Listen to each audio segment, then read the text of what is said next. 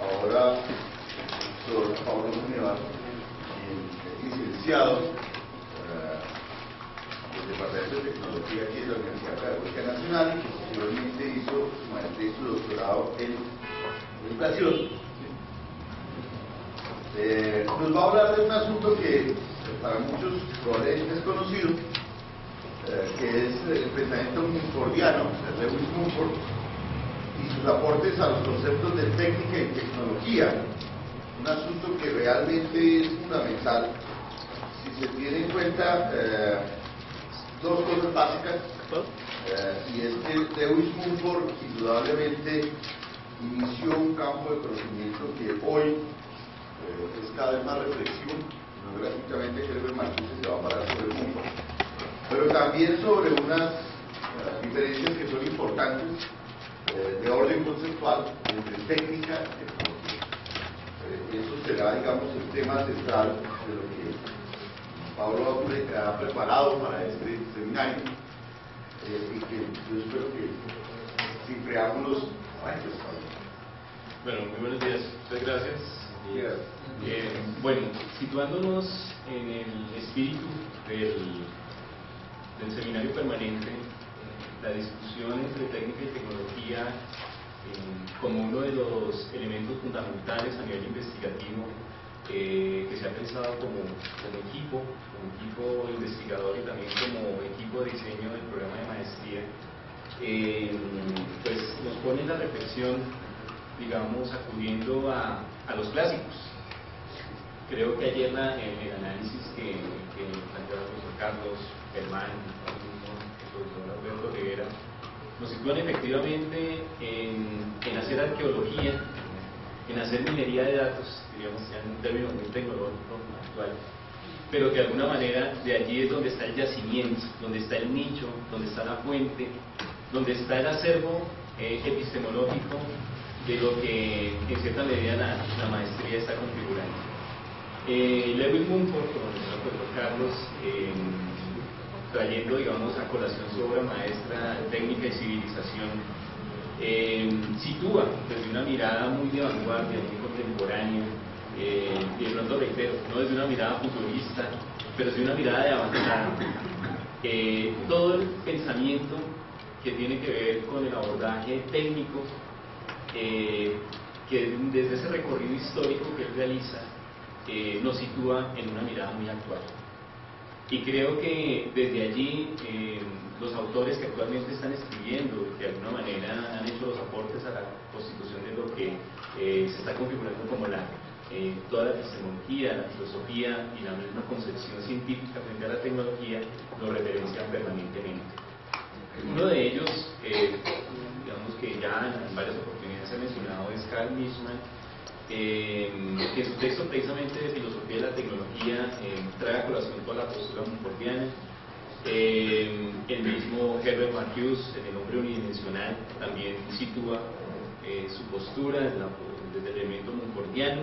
Y si nos vamos al tema también de las ciencias sociales, digamos, ahondadas en el tema de lo comunicativo, autores como Habermas, eh, sitúa toda su postura del concepto de dominación, concepto de técnica, lo sitúa muy, muy en, el estilo de Lewis eh, hablaba ahora mismo con la profesora Marta y me, encanta precisamente que haya una interlocución, que precisamente los estudiantes ya eh, precisamente han tenido la oportunidad de en ese momento saber eh, abordado el, problema de la, de la, técnica y el pensamiento cordial y por supuesto pues el colectivo de de docentes y de las personas que tenemos aquí conectados en vía online, eh, pues tienen ya pues eh, cierta, cierta identificación sobre el tema del pensamiento Bueno, pues, eh, son algunas ideas, algunos planteamientos que tienen que ver más que todo en cómo el pensamiento de Lewis Mumford, desde la concepción de técnica,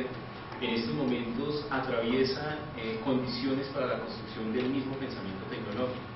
Y también eh, cómo ello también repercute en la consideración social, ética y política en, nuestra época contemporánea. Entonces, eh, me daré pues al, damos paso a la, lectura de esta ponencia. En, algún momento de la presentación, eh, pues proyectaremos un video principalmente trayendo a colación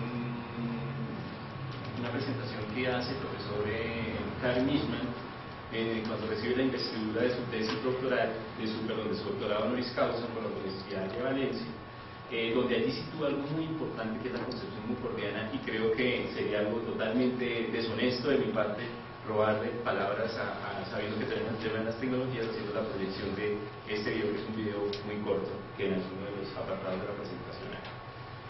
Bueno, entonces planteamos el siguiente modo.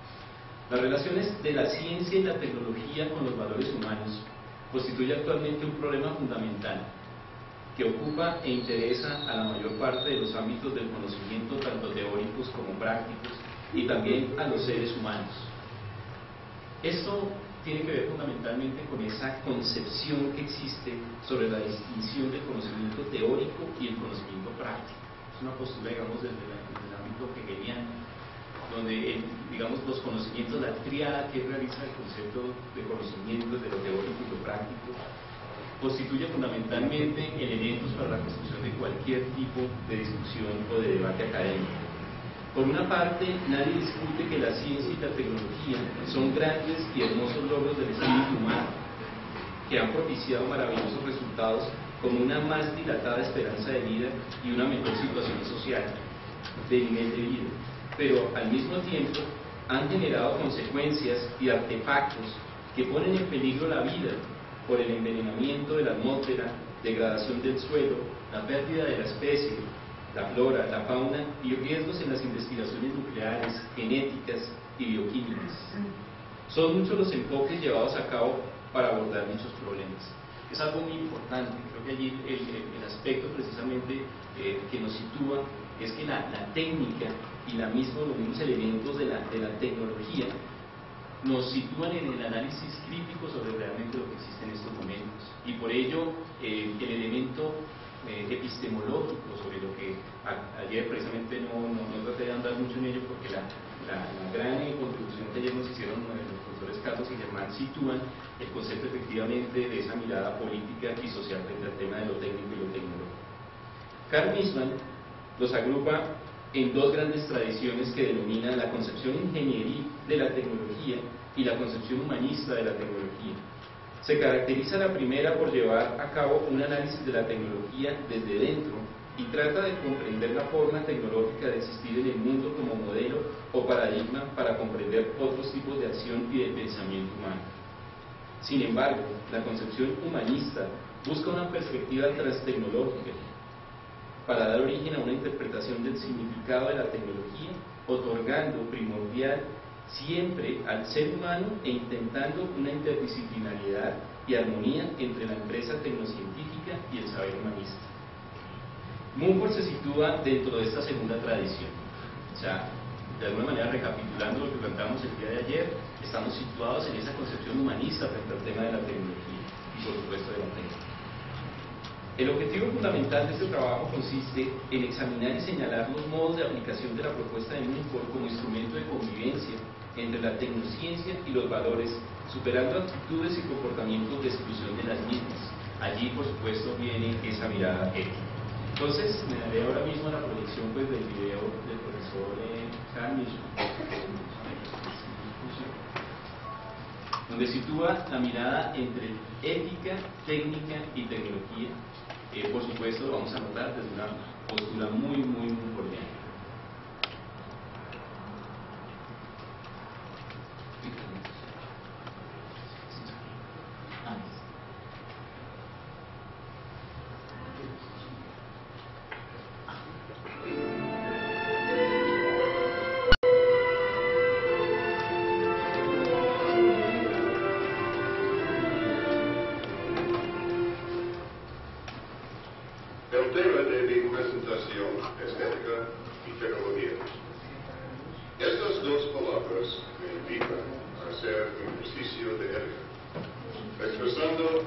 Yo le al rector José al profesor José Antonio López Perezo y a todas las personas asociadas con la Valencia International University por el honor que me es conferido en esta ocasión. Como institución online dedicada a la enseñanza y a la investigación, y comprometida con ideales como la sostenibilidad medioambiental y los derechos humanos, la PIU pone la tecnología al servicio del bien más allá de los intereses puramente comerciales. Esta es una declaración de principios que quiero respaldar y que me honra por estar asociado con esta institución. Permítame explicar por qué. El año pasado, en el solemne, acto de apertura del curso académico de esta universidad, la rectora Beatriz Barbuy describió la evolución del universo desde el Big Bang hasta la formación de los planetas. Esta historia extraordinaria abarca 10 mil millones de años. Asimismo, en nuestro planeta Tierra hay otras dos evoluciones igualmente extraordinarias. La primera es la evolución de los organismos vivos por selección natural y la aparición del ser humano. La segunda, en el marco humano, es la evolución cultural que ha dado lugar tanto a la tecnología como a la ética. Para muchos, la evolución de la fabricación y del uso de herramientas es la característica que define al ser humano. De hecho, los antropólogos suelen diferenciar los diferentes periodos de la historia humana por el tiempo, por el tipo de herramientas que hacían y usaban. Las primeras edades al principio del desarrollo histórico del ser humano, fuera de las piedra, del bronce y del hierro. Después hubo dos profundas transformaciones culturales que cambiaron el modo de vida más que cualquier otra. Y el también de índole tecnológica, a saber, las revoluciones agrícolas neolíticas de hace 10.000 años. Y la revolución industrial que se inició hace 500 años. Ambas revoluciones tuvieron un carácter fundamentalmente tecnológico. También nuestro tiempo ha sido descrito en términos de tecnologías dominantes. Así, por ejemplo, se habla de era atómica o era electrónica. En zonas geográficas distintas y de forma independiente, se, produ produjeron revoluciones agrícolas basadas en la domesticación de plantas y animales. Pero, tan importantes como esas transformaciones, fueron los cambios culturales que uh, empezaron a producirse hace unos 3.000 años. Nuevamente ocurrieron en lugares diferentes del planeta. Durante la era axial, un término del filósofo Karl Jaspers, el hombre por primera vez se planteó abiertamente cuestiones básicas sobre lo que significa ser humano. El periodo comprendido entre el 800 y 200 años antes de nuestra era vio florecer a sabios hindúes, profetas judíos y figuras como Sakyamuni Buda, Confucio, Lao y Sócrates. Todos, todos ellos introdujeron la disciplina de la reflexión en su cultura. A través de ella, el hombre dejó de verse a sí mismo solo en relación con la naturaleza, la familia o tribu, y pasó a identificarse con ideales trascendentes. La guerra moderna bien puede ser una segunda guerra axial, aunque en este caso se trata de una transformación que empezó en una zona geográfica, eso es Europa, y se expandió luego por todo el planeta a través de interacciones y conquistas. Los componentes básicos de esta evolución religioso-filosófica han sido, por un lado, la tecnología industrial y postindustrial, y por otro, los ideales de la ilustración, el individualismo y la democracia. Ideales que han funcionado como promotores simbióticos de la tecnología científica moderna. La ideología del progreso solo es la manifestación más abierta de esta simbiosis. Ahora, muchos intelectuales desconfían actualmente del concepto de progreso. En particular, debemos guardarnos de adoptar una postura triunfalista. La evolución cultural, como todas las evoluciones, es contingente. Dadas la complejidad y las inseguridades inherentes a la naturaleza, sabemos que si rompiéramos la evolución cósmica o la orgánica, se produjeron planetas o animales diferentes. Lo que vale para el pasado vale todavía más para el futuro. Hay, en definitiva, varios futuros posibles. Y es justamente el hecho de que haya diversas alternativas lo que, a la vez, hace posible la existencia de una ética en los asuntos humanos.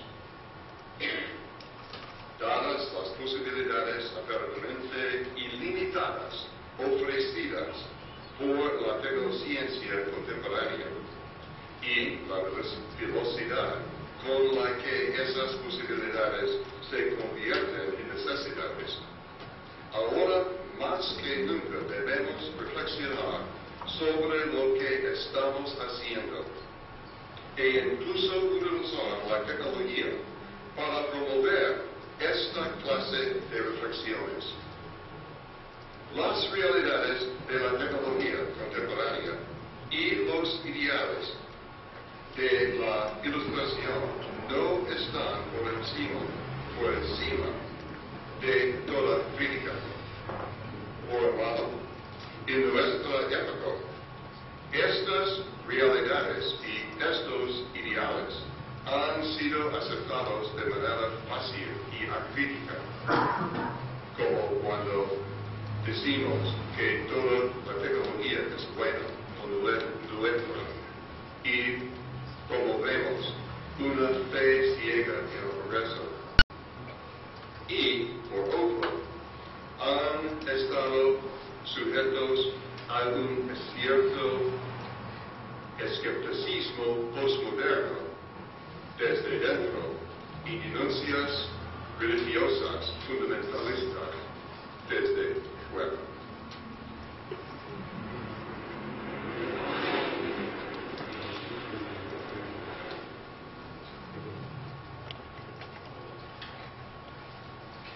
Mungo se sitúa dentro de esta segunda tradición y el objetivo fundamental consiste en presentar y señalar, señalar los modos de aplicación de la propuesta mumfordiana como instrumento de convivencia entre la tecnociencia y los valores, superando actitudes y comportamientos de exclusión de las mismas.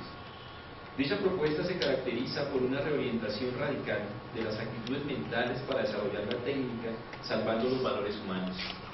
Creo que allí se resignifica lo que el profesor Wilman acaba de resaltar. No aboga por un rechazo simplista de la tecnología, sino que establece una distinción racional entre dos tipos de tecnologías a saber. Las democráticas, aquellas que están de acuerdo con la naturaleza humana y las autoritarias, que mantienen una pugna a veces violenta contra los valores humanos. En definitiva, la solución a la dinámica conflictiva vivida entre la actividad tecnocientífica y los valores viene dada por la búsqueda de una tecnología elaborada sobre los patrones de la biología humana y una economía biotécnica que significa, usando las propias palabras de mundo, aceptar el animal que se hizo humano. No símbolos por expresar con fraternidad y amor, enriquecer su vida presente con recuerdos vividos del pasado e impulsos formativos hacia el futuro. Ampliar e intensificar aquellos momentos de la vida que tuvieron valor y significación para él. Esto es una cita tomada técnica de civilización, página 26. La tecnología, por tanto, ha de ser promovida cuando contribuye a engrandecer este aspecto personal de la existencia, pero debe ser limitada cuando restringe, coacciona y daña los valores de la naturaleza o del ser humano por estar motivada o por ser intereses de poder o dominio. Algo precisamente que ahorita mencionábamos, eh, y pues, también eh, siguiendo la línea del profesor Alberto, es esa mirada de la alienación, esa mirada de la, enajenación, esa mirada precisamente de tomar distancia, esa mirada efectivamente de, hacer un abordaje crítico, de formarnos críticamente frente a este tema de lo, técnico y de lo tecnológico. La clasificación histórica de la tecnología establecida por Mumford eh, pues posee tres fases. Creo que las personas que han leído el libro eh, lo sitúa muy claramente. Está la geotécnica, la paleotécnica y la neotécnica.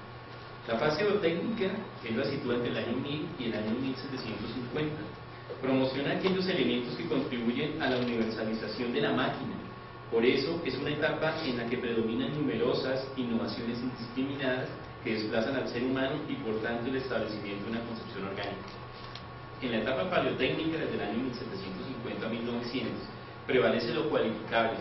Allí pues es importante mencionar, eh, por supuesto, el avance del pensamiento científico, eh, la innovación, toda la propuesta que viene sobre los componentes matemáticos, eh, el lenguaje matemático que se convierte en un lenguaje universal y pues allí por supuesto prevalece el tema de lo, de lo cuantificable. Prevalece lo, cuantificable, el poder y el deseo de ganancia, sirviéndose de la explotación de minas de hierro y carbón y el uso de energía mecánica. O sea, creo que es algo importante y el profesor Nisman ahora mismo lo sitúa. Es un periodo condenado al fracaso porque se da prioridad a los valores pecuniarios sobre los humanos. La fase neotécnica que va desde el año 1900 hasta nuestros días se caracteriza por un intento de intensificar la vida, rechazando toda clase de creaciones industriales destructivas. Las innovaciones son numerosas, pero todas encausadas hacia un deseo de regresar a la naturaleza. Esta vuelta a la naturaleza es importante para llevar a cabo una mejor gestión de la energía, que proteja nuestro ecosistema y promueva un cambio hacia los valores más humanos. Es de interés el estudio de estas tres fases de la tecnología ya que el argumento Mumfordiano indica que nuestra sociedad camina hacia la uniformidad, la estandarización y la irracionalidad, que tiende a restringir la vida del individuo y de la comunidad. La importancia que tiene el esquema de Mumford concibe al ser humano como Homo sapiens para el desarrollo de un tipo de tecnología que sostenga el equilibrio entre ecosistema y tecnociencia, se distingue por una parte del utilitarismo, promotor de un homo faber que precisamente el profesor Rivera lo situaba de esa concepción de, de, del próspoco que se interesa por aquellos valores relativos al mecanismo, al absolutismo, al capitalismo cuyo objeto es el cambio, la innovación y el progreso técnico. Por otra, la concepción romántica favorece el desarrollo del Homo sapiens, porque actúa en favor de las auténticas necesidades de la personalidad humana y no de la producción mecánica fomentando de este modo la libertad, la espontaneidad y los sentimientos. Todos estos factores son de suma importancia para alcanzar un equilibrio orgánico. Esto es algo muy importante. Eh, Mumford sitúa, eh, nos pone a colación algunos léxicos, unos términos muy, muy importantes, eh, entre ellos el concepto de equilibrio orgánico. Principalmente es una mirada, digamos, de, de establecimiento de poder político y, por supuesto, que de alguna manera puede ser reflejado en la constitución de los mismos, de los mismos objetos técnicos. Es desde esta perspectiva desde donde se argumenta Mumford para afirmar que hay una propuesta romántica que promueve esa figura. Hay que permitir que el ser humano valore adecuadamente todas sus actividades y para ello se necesita tener presente la concepción universal, la distribución equitativa de los bienes de la vida y el desarrollo del espíritu humano. Pues cada uno de estos elementos son útiles para construir comunidad universal y para renovar la vida, teniendo muy en cuenta las relaciones que toda persona humana establece con el ambiente a fin de desarrollar las capacidades orgánicas promovidas por el equilibrio y la autonomía. Se lleva a cabo un examen crítico de los argumentos que usa para defender valores como la libertad, la sensibilidad, la estética, la interpretación, la, interpretación simbólica y la subordinación a las necesidades orgánicas, es decir, la evolución hacia un mundo donde lo prioritario es la tecnología orgánica y democrática, que refleje el poder de las personas de participar en las mejoras sociales, y personales, y donde los trabajos apoyen los principios éticos y sociales que favorecen el respeto y el desarrollo de los valores humanos. De esta manera, la importancia que Mumford nos sitúa concede la defensa de un tipo de educación que contempla la capacidad humana de sentir, de cooperar, de participar de un modo democrático, es decir, una educación entendida como paideia. Desde la educación se pide desarrollar actividades que cultivan la comunicación, la cooperación y el desarrollo de valores humanos en cuanto conducen a un autoconocimiento humano que nos permite saber cómo actuamos, cómo nos confiamos, cómo nos autodirigimos, para que mediante dicha actitud lleguemos a una autotransformación humana, con miras a rechazar las técnicas autoritarias y fomentar las democráticas para salvar los valores humanos.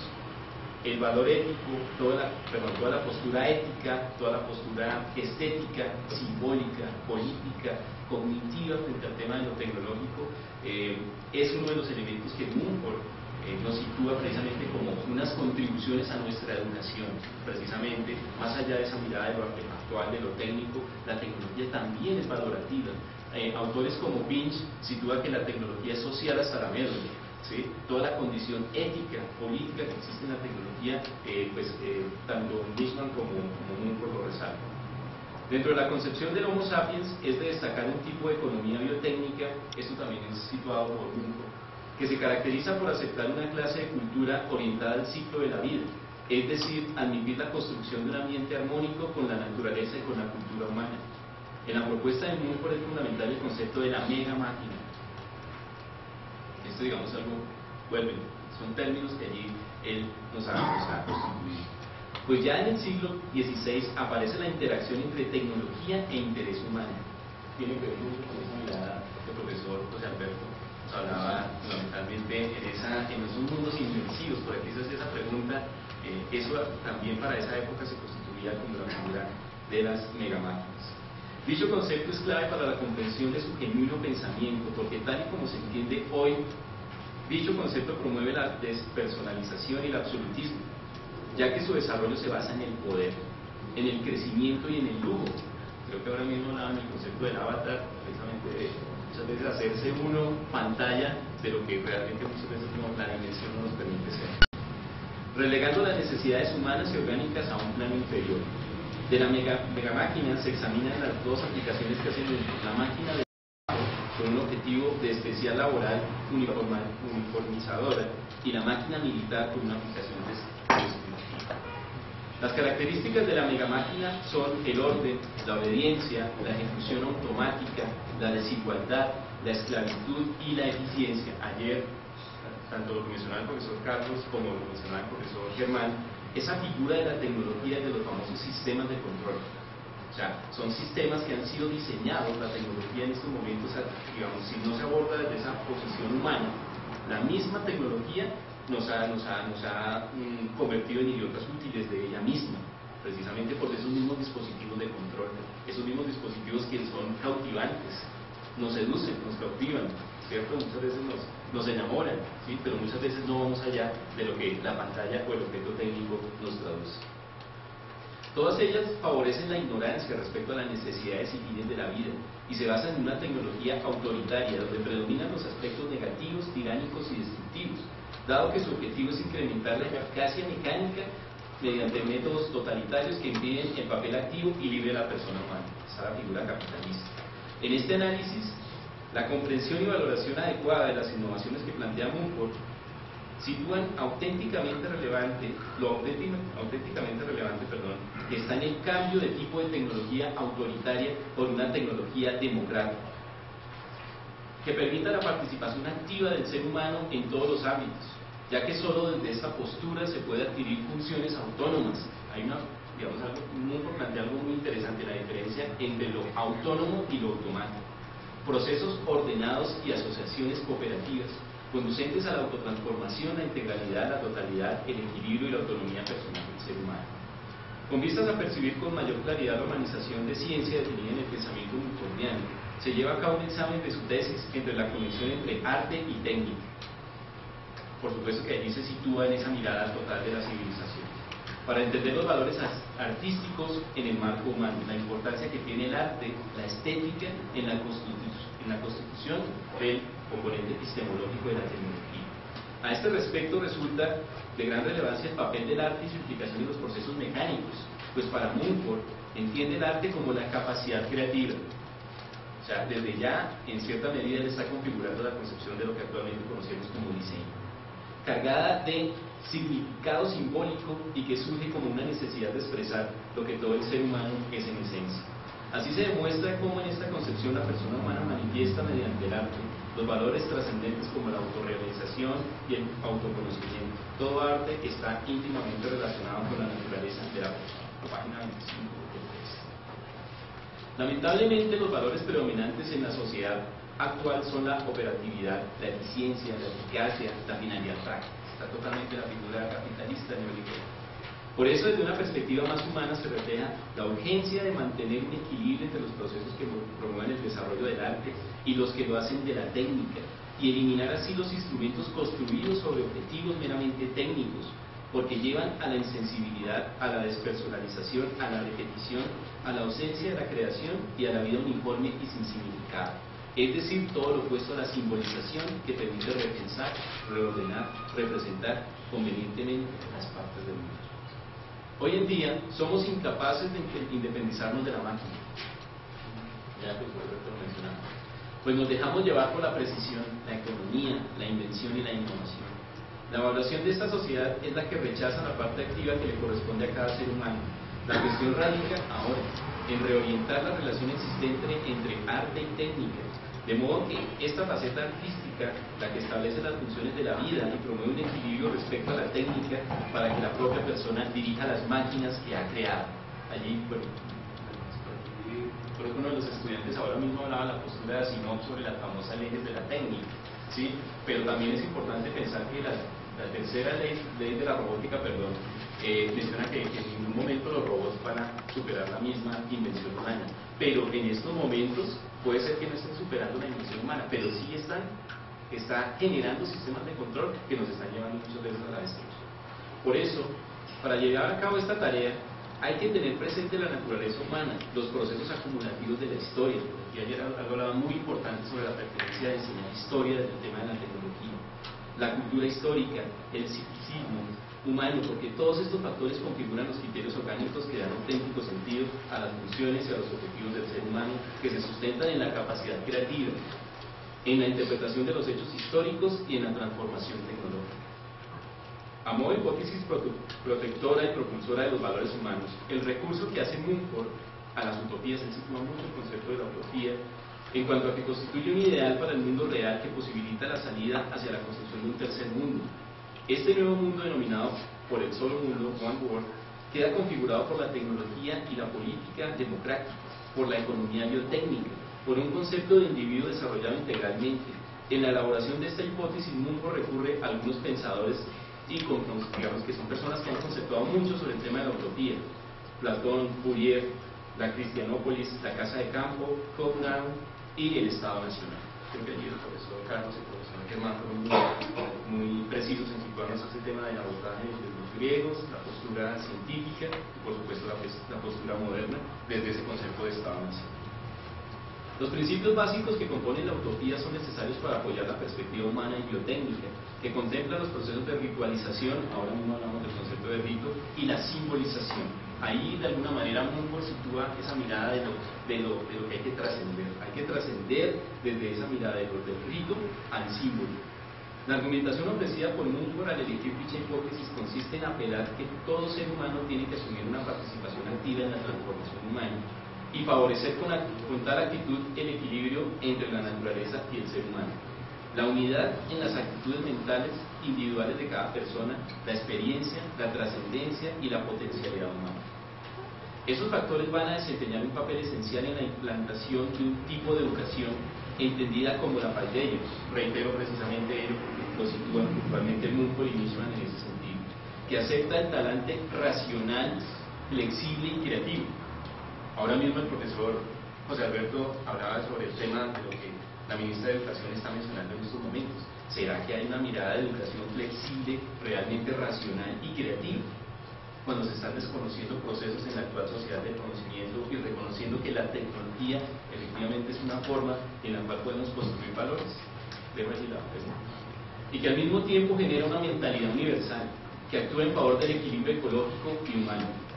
Como núcleo central de esta tesis se resaltan las conclusiones de la propuesta monfordiana en entender al ser humano no como un homo faber, sino como un homo sapiens, que significa no solamente en el hacer esa mirada en la competencia, por ejemplo, que ayer el profesor Germano situaba desde, ese concepto de los, de los desempeños, las habilidades, las destrezas, que significa no solo el hacer, sino el pensar, no el instrumento, sino la mente, el pensamiento, lo que constituye los cimientos de la humanidad. Y sobre esta base antropológica argumenta a favor de la tecnociencia democrática en cuanto a que se desarrolla en armonía con las distintas necesidades y aspiraciones de la vida y además funciona de manera democrática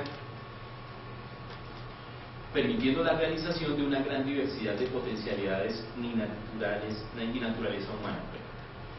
También desde dicha base antropológica se rechaza la tecnociencia autoritaria, porque se dirige principalmente hacia el dominio y fomenta la, superioridad técnica, material y económica en un detrimento de las capacidades naturales humanas.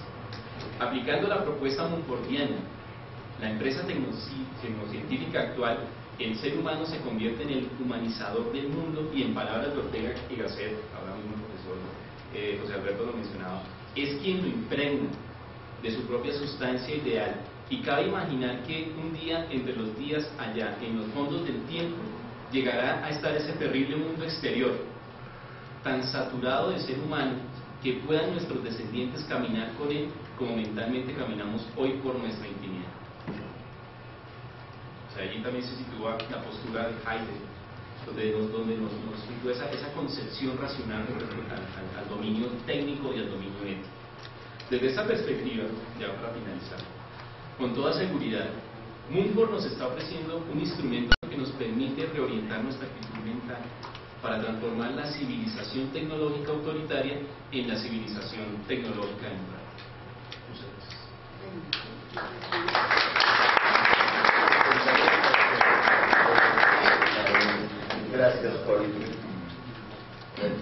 Para arrancar la discusión, yo quiero hacer como dos o tres cosas.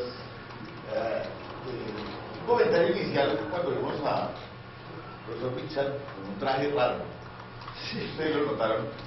Eh, el gorro es estupendo, el traje es, lo normal en eh, los doctorados, pero, o sea, cuando alguien accede a un doctorado en Europa tiene que tener el traje típico de la universidad. Parece una obra de teatro, ¿no? Entonces se los ve entrar cada uno con, con un plumaje, otro con otros gorros eh, esto es de la Universidad de Sevilla, creo, de Valencia.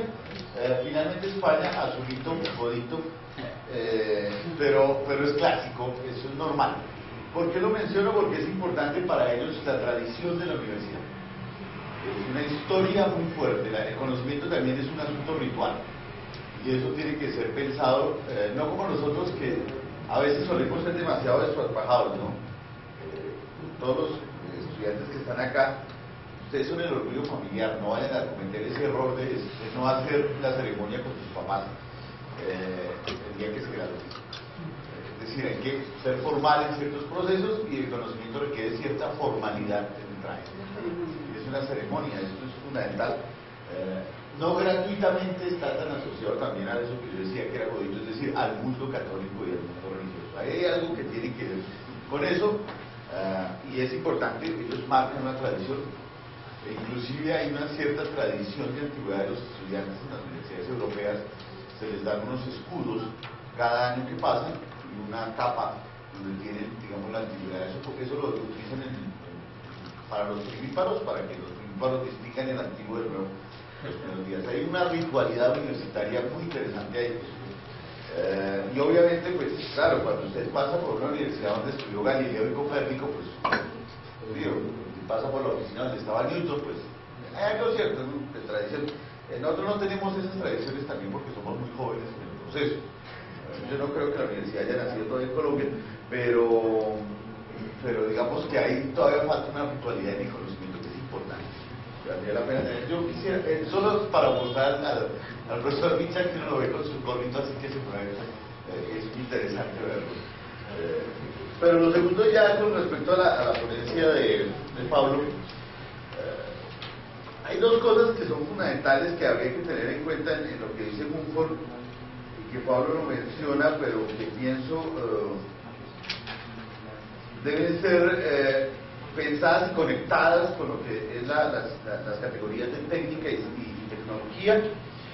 Una es la fuente de energía, cuáles son las fuentes de energía eh, y cómo la fuente de energía y la alimentación de energía determina fundamentalmente procesos técnicos y tecnológicos. Y es un problema contemporáneo profundo, es sumamente difícil de, de asumir tanto que la fuente de energía también determina el impacto humano sobre la naturaleza. Eh, si no gratuitamente acabamos con los bosques, no gratuitamente acabamos con las especies, sino gratuitamente vivimos de energías fósiles. Eh, esto es un determinante que eh, Mumford no asume del todo porque Mumford de alguna manera este libro es de 36. Sí, sí, en ese momento no era un tema tan fundamental, pero después venimos con una energía atómica que sí la vivió. en el 74. Uh, y sus últimos trabajos también de pensar ese problema de la energía, que es un problema de física, de química, de la ciencia básica hoy.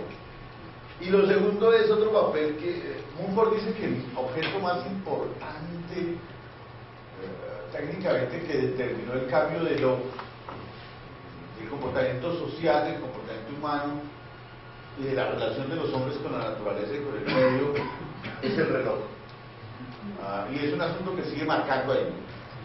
Uh, mi, pregunta, Pablo, es cómo se articula esa relación tiempo-energía dentro de la estructura contemporánea de la máquina y de las relaciones sociales. Porque al final tú terminas diciendo habría que pasar de la estructura autoritaria hacia la democracia. Uh, pero también hay una cierta democracia autoritaria uh, y eso, eso tiene que ver con, con, el grupo del reloj nivel norteamericano, con el grupo de la energía norteamericana. Mi, mi, asunto va hacia allá. Sí, creo que ahí, Carlos, no. Perfecto. Yo creo que eh, si, si, en estos momentos se planteara desde lo, analógico, eh, visto el concepto de analogía, ¿no? Entonces, los, tema, si tuviéramos el concepto precisamente de, de fuente de energía, que lo analógico eh, son eh, señales de naturaleza continua.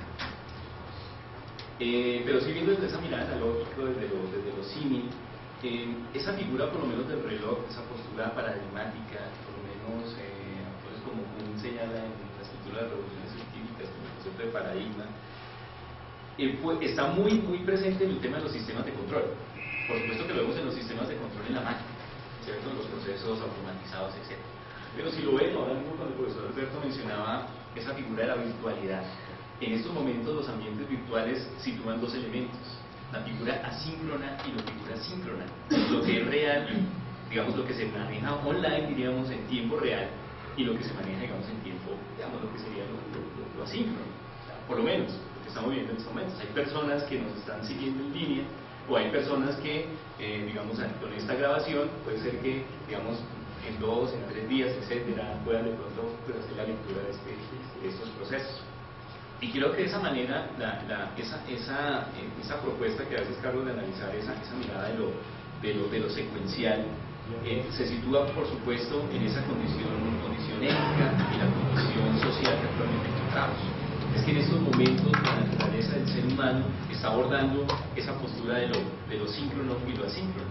En estos momentos la mirada de lo, que, de lo que hay aspectos que nosotros encontramos en la cotidianidad y muchas veces lo vemos en nuestras instituciones, que a veces lo, más importante lo dejamos de último y prima la urgencia. ¿sí? En ese sentido, ¿qué elemento de lo valorativo nosotros podemos encontrar allí? Esa mirada del tiempo, esa mirada del abordaje, del abordaje del reloj, que por lo allí plantea Carlos, que es algo muy importante y muy de alguna manera haciendo, digamos, esa, trayendo a colación desde esa mirada democrática, sí, por supuesto, digamos, pasando de esa, de esa postura tecnocientífica, esa figura más democrática, estaría en ese sentido. ¿De qué manera la tecnología no nos va a llevar a convertirnos en individuos síncronos o asíncronos, sino nos van a mantener precisamente esa categoría de individuo como tal?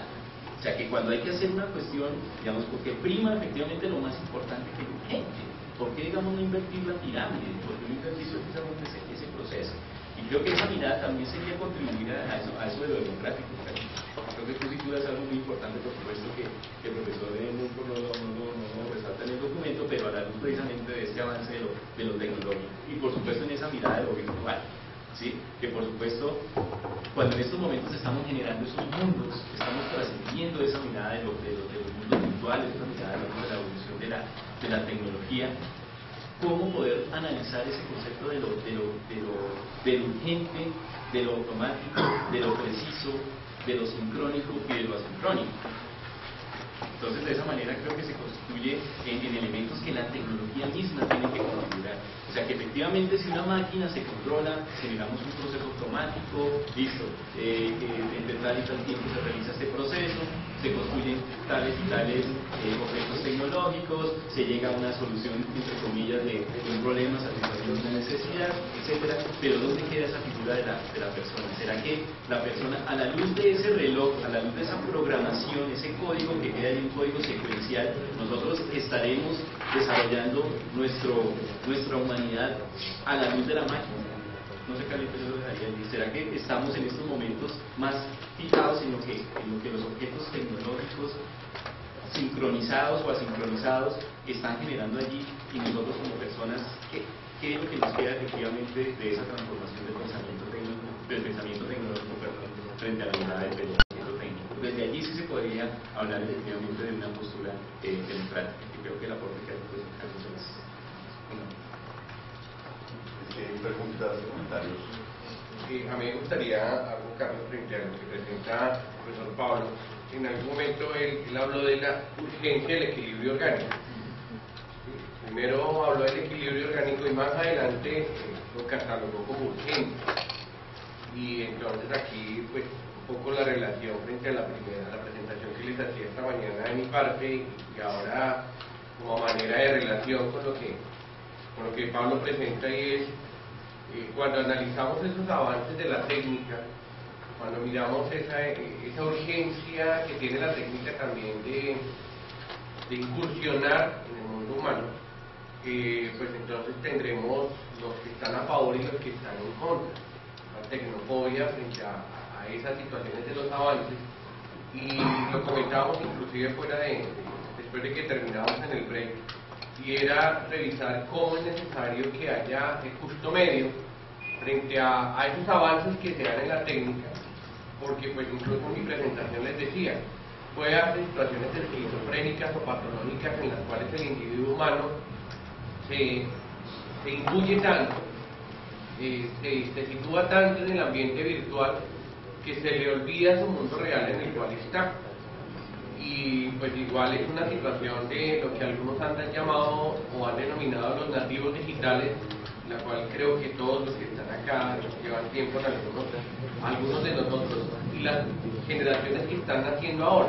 ¿sí? Ya hay una, les decía, pues, lo comentábamos, hay una preocupación frente al cómo abordar, porque al menos nosotros estamos colocando elementos de juicio, estamos haciendo un análisis frente a lo que nos encontrábamos y en lo que hemos vivido y a lo que estamos afrontando. Sin embargo, pues obviamente queda esa, esa urgencia del equilibrio orgánico, toco de nuevo el tema, para revisar que, que y ahí venía, vendría la pregunta Pablo, ¿cómo, cómo, cómo hacer esa relación entre lo que presenta Monfort, frente a la presentación tuya, frente a los argumentos vistos y, presentados de mi parte en la ponencia, para buscar esa, esa urgente o ese urgente equilibrio orgánico frente a esa situación a veces amenazante, la planteó usted también frente a la técnica y frente al tema de los avances tecnológicos y a veces necesarios para la humanidad, porque de hecho pues el tema de la, lo presentaba el profesor Mishman en su, en su, en su ponencia también, hay unos elementos en los cuales es necesario a veces hasta destruir la naturaleza, pero que si no se hace, entonces tampoco se avanza en los elementos técnicos. Pero entonces viene la pregunta, ¿cómo buscar esa urgente, ese urgente equilibrio Bien, yo creo que situándonos en lo que planteaba mismo frente a esa concepción ética, mmm, yo creo que hay unos, unos, unos aportes. Ahora mismo creo que la, la contrapregunta que uno te hizo esta mañana, pues, el tema de, la, de, lo, visionario, yo creo que también está en ese sentido muchas veces, sería algo muy, muy complejo tratar de analizar cómo, cómo, cómo tratar de reconfigurar este, este equilibrio orgánico. Bueno, si alguna vez existido, a la luz de la máquina. Pero creo que lo que, lo que plantea lo que plantea el profesor Misma que lo sitúa en esa, en esa mirada de lo, de lo ético, es en cierta medida eh, tratar de trascender trascender esa, esa mirada de lo, de lo objetual y lo artefactual que de alguna manera hemos resaltado, creo que pues trayó una colación, digamos, los, reitero, los, los clásicos. Eh, sitúan efectivamente que ese equilibrio orgánico muchas veces se garantiza frente a ese tema de concepción de cultura, por ejemplo. ¿Cuál es la concepción de cultura que tenemos en este momento? ¿Será que la, cultura, como lo plantea Mosterín, digamos, sigue, sigue siendo afectada por esa eh, mirada eminentemente informacional? ¿O será que la, cultura en estos momentos eh, ya, digamos, atraviesa otra mirada, diríamos, como lo plantean autores eh, muy clásicos, digamos, de la, de la cultura, digamos, de la cultura latinoamericana con profesor Huevo, eh, que hace unos meses pues, falleció, y él menciona precisamente la postura de la, de la, de la cultura eh, en ese sentido de lo, de lo